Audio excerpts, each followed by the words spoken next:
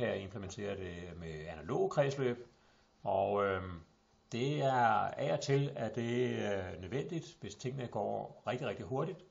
Øh, her har jeg taget et eksempel med øh, en, øh, en, øh, en buck-converter, altså et stykke elektronik, hvor øh, at en spændingskonverter, så her det vi gerne vil styre, det er, hvad er output-spændingen, uafhængig af hvad inputspændingen er forstyrrelser og belastning, og det kan man selvfølgelig også bruge en, øh, en controller til. Men hvis switchfrekvensen kommer, øh, kommer højt op, jamen så er det ikke rimeligt at implementere det med en, en Simulink-blok og sådan set heller ikke digitalt. Øh, så må man tilbage til at bruge nogle analoge kredsløb. Og øh, et eksempel på det, det kunne være en op-amp. Øh, faktisk rigtig hurtigt, så må man heller ikke bruge en operationsforstærker, så må man bruge en transistorforstærker eller en MOSFET-forstærker. Øh, men ideen er den samme, at man har nogle analoge kredsløb, hvor man kan regne en overføringsfunktion ud, og øh, man kan implementere sin regulator ved hjælp af de her diskrete komponenter. Vi vil prøve at kigge på, øh, på den her, øh, det her lille kredsløb, der er her, og se, øh, hvordan, hvordan øh, kan vi regne det ud, hvordan kan vi implementere regulatoren ved hjælp af den her type øh, analog kredsløb. Og det har I jo, håber jeg, alle sammen øh, prøvet at regne på i tidligere kurser, elektronikkurser, og vi vil benytte noget af det, som, øh, som vi har derfra. Vi vil prøve at kigge på, hvordan det her øh, kredsløb øh, bliver implementeret, og øh, vi deler det op i to dele. Vi kigger først på den her hjørne heroppe, og øh, med lidt, man burde kunne genkende, at den her kobling her, det er det, der hedder en differensforstærker. Og øh, hvis man øh, kigger på udtrykket for, hvad er det, den gør, så siger den, at outputtet her, som vi nu kalder UA for, øh, at det er en analog implementering, øh, den er lige med differencen mellem de to inputs, og de to input her, det er referencen, og det er den, vi kalder Y2, som er det, der er på, på ledningen her. og øh, det, øh, den giver den her kobling, den kan også give noget forstærkning, og øh, forstærkningen i kredsløbet, det er simpelthen R2 divideret med R1, som der står herover. R2 divideret med R1. Og her er markeret, at de to modstand, modstande 2 og 2 har samme nummer for at sige, at de er øh, typisk øh, samme størrelse.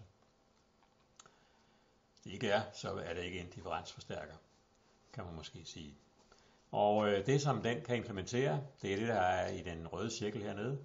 Øh, det er jo differencen af øh, de to input, plus og minus, referencen og Y2.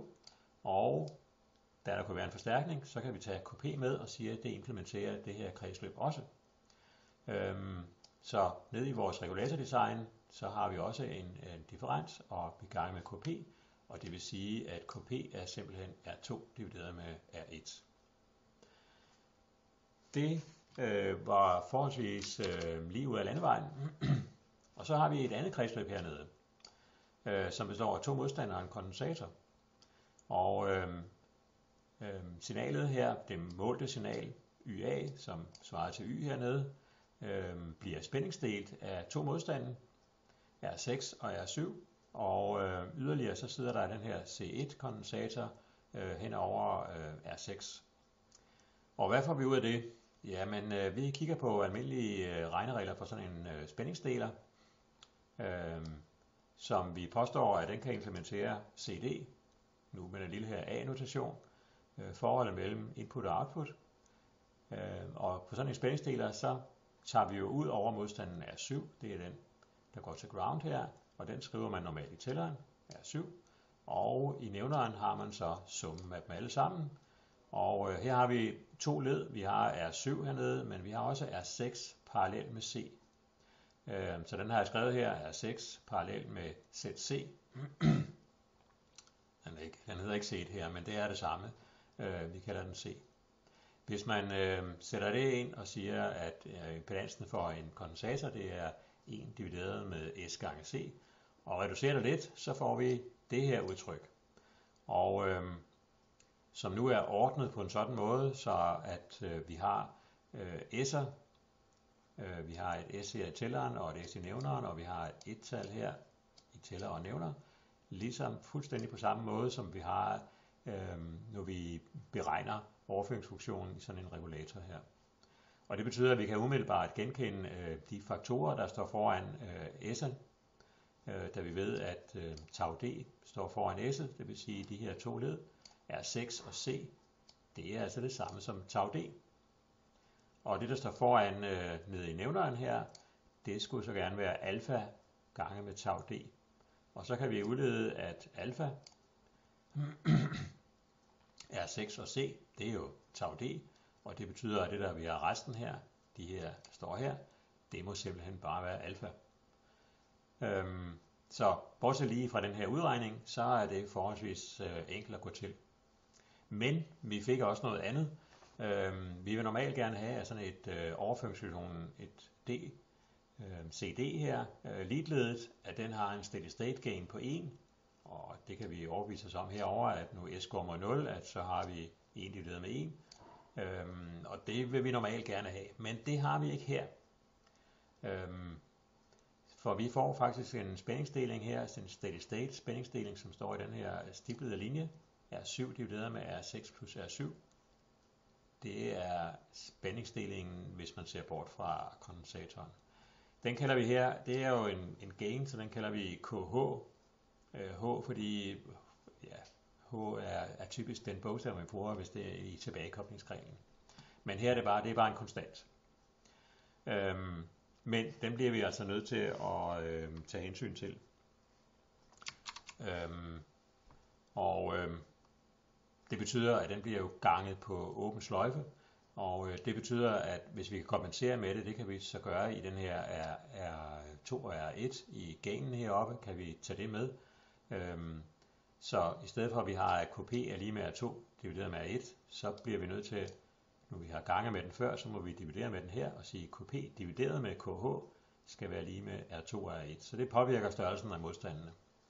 Men vi skal have udregnet nogle komponentværdier, øh, og øh, vi har øh, alt, hvad der skal bruges nu. Øh, vi har øh, mm,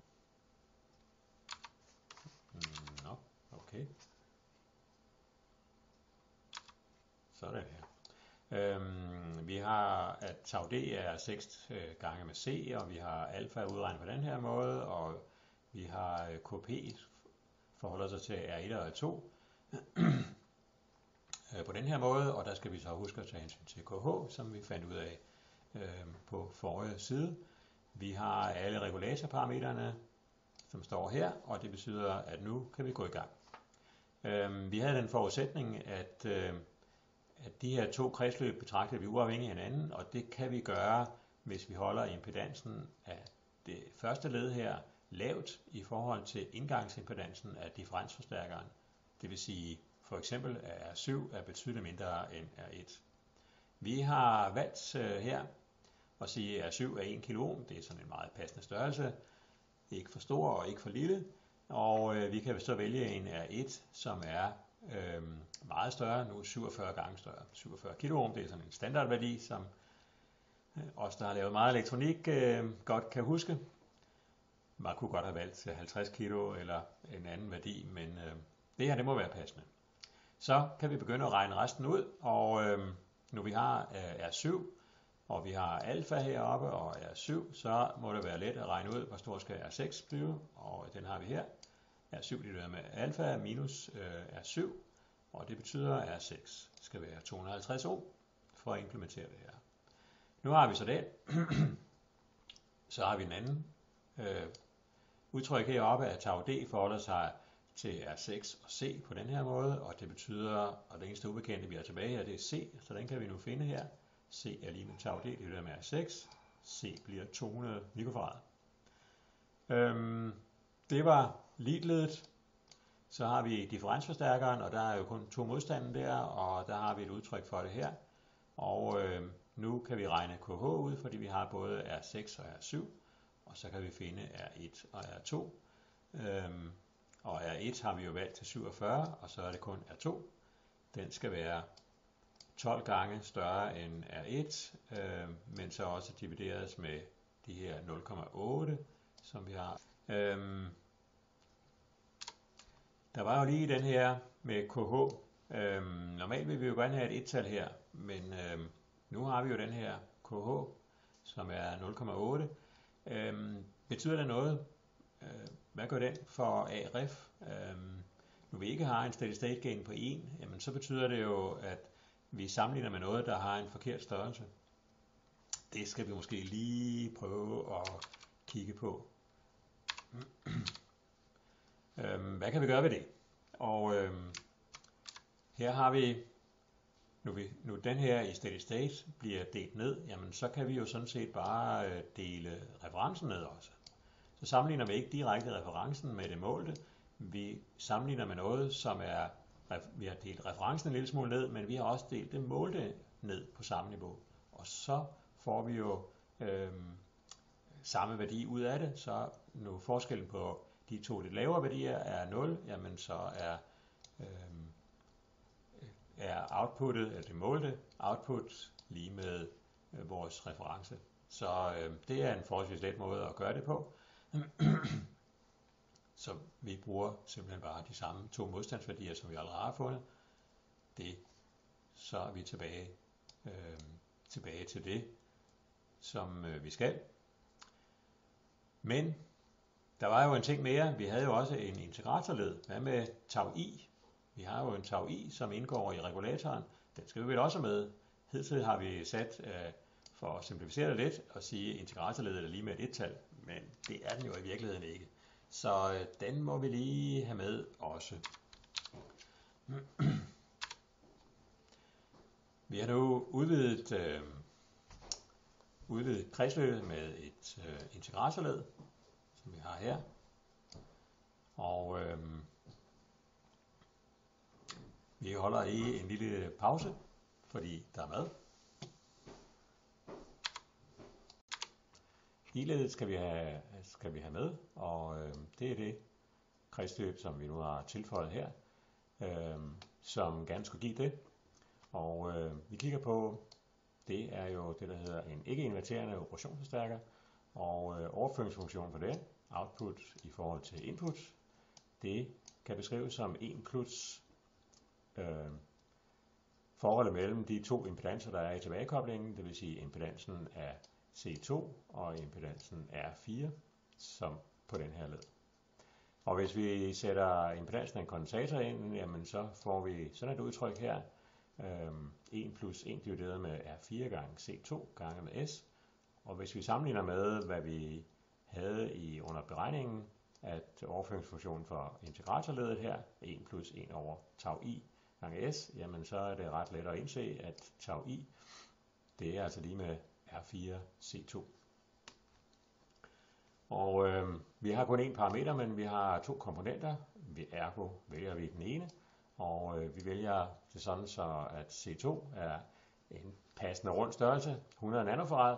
Hvis man nu har valgt en øh, forkert værdi, 100 mikrofarad, eller noget af den stil, jamen så vil man få nogle, en, en meget lille værdi for R4, som nok ikke var hensigtsmæssig, men det er jo heller ikke det store problem at så vælge, vælge om. Øhm, de her modstandsstørrelser, der indgår sammen med øh, operationsforstærkeren, øh, de skal have sådan en, et passende niveau i forhold til den performance, som operationsforstærkeren har.